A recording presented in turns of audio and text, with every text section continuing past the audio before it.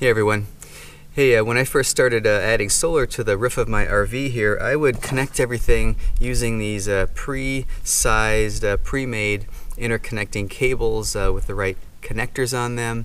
And um, over the years, I've, I've reconfigured my system, I've expanded, and I've ended up with a lot of these cables and at different lengths, and uh, sometimes they end up getting bunched up and zip tied together because I have a lot of maybe a, a couple feet of extra length on a cable. And I realized eventually that uh, it was getting kind of messy and maybe I should just uh, create my own custom sized cable. So for the last year or so, that's what I've been doing. I've been uh, building some different boxes and things like that to monitor equipment, but I've also been just buying bulk cable like at a 50 foot length. And so this uh, length here 10 gauge, good quality solar cable. Runs about $30 on Amazon. And I also pick up, you know, the MC4 connectors I need and the right tools. And I just make my own connections. And I wish I would have just been doing this this way the uh, whole time from the beginning. It probably would have saved me a lot of uh, money and uh, I would have ended up with a nice, cleaner, professional install right from the beginning. But uh, that's what I do now.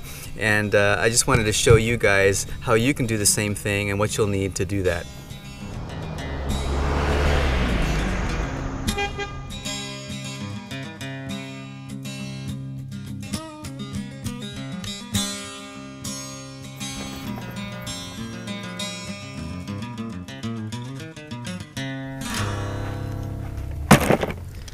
Okay, so let's make us some connectors here. Uh, before we do that, I want to give you a little rundown of what we're going to need. Obviously some cable, talked about that earlier.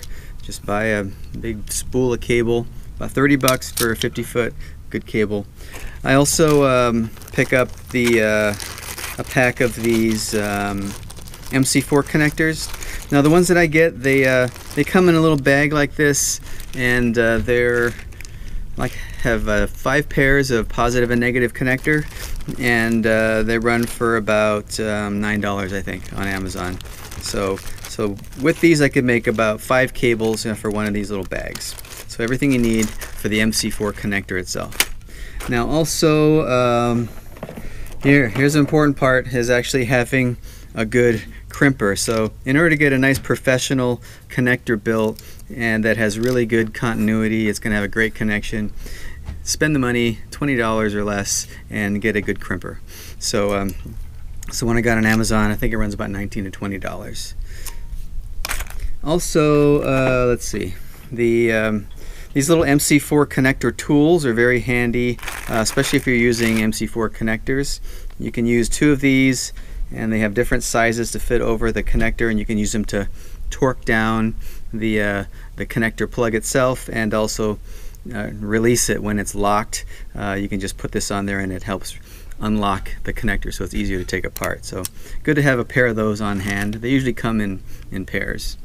And uh, I think that's about it. Uh, wire splitter um, and wire cutter. So let's go ahead and make a connector.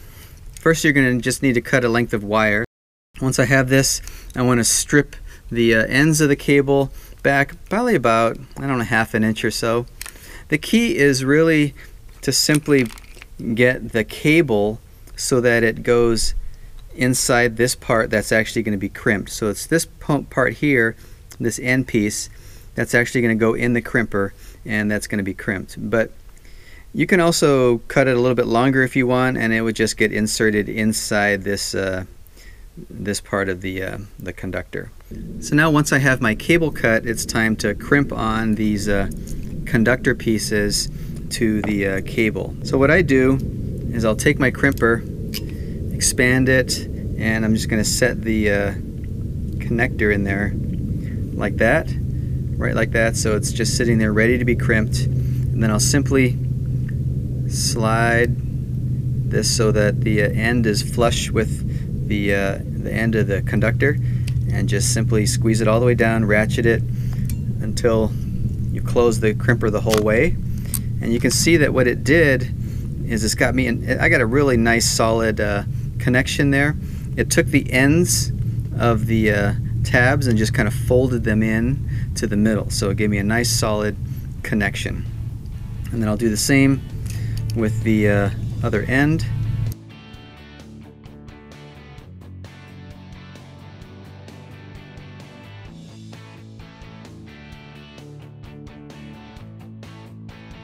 So now with the conductor part uh, crimped onto the cable, that's really the hard part. and you know the crimper makes it really easy. I'm simply gonna take the uh, the MC4 uh, housing part of the connector and uh, insert it onto the cable. So the first part of that is to actually remove the, uh, the bottom part that's going to create that weather tight seal and I want to slide that over the cable the connector part. I have to do that first. Don't forget to do that because if you do, once this is locked in place, you won't be able to put it on again. So the next step, if you get line up the right uh, connector, simply going to slide it into there and you'll hear a you'll know when it locks because it's going to have a it's going to lock it nice and tight. And now it's on there. It's, it's a little tab on that uh, conductor that locks it in place. Now this is where the uh, little tool might come in handy because you can uh, simply just insert it over the end is designed to fit over the end and uh, you know you can crank it down. So that's what I usually do. You can use both tools, I suppose. Um, sometimes they fit, sometimes they don't. Uh, but a lot of times I'll just use my hand. Just to repeat this on the other end.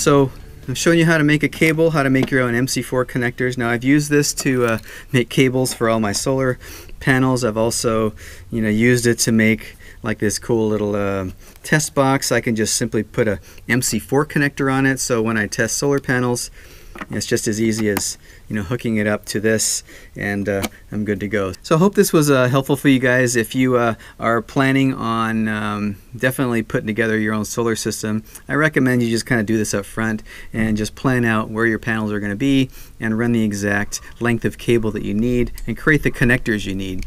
Because one of the things that I found is that you might go out and spend some money and buy, say, a 10 foot um, MC4 cable with MC4 connectors on the ends that you're paying for and then you may end up having to clip one of those ends off because you don't need it and you're going to connect it to a charge controller or something else. And now you've spent the money on a on a nice connector on a cable that you've basically cut and you don't need it. So just start from the beginning um, buy your own cable.